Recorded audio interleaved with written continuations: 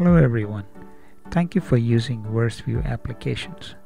This video is to go over the feature to add Bible database to your VerseView PC applications on Windows or Mac. For example, let us download the Arabic Bible database and add it to VerseView. First visit the VerseView website and navigate to the Bible database section and find Arabic Bible database. Download and save this file to the desktop or the downloads folder or any folder of choice. Then open VerseView and click on Bible, Add Version from the top menu. Now select the database file that you just downloaded and click OK.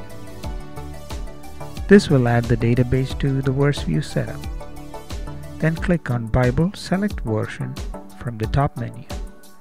Here select the primary and the secondary translation as needed and click Save. Now your VerseView is set up with the translations of your choice. Thank you once again for using VerseView. Please share this video and provide your comments. God bless you.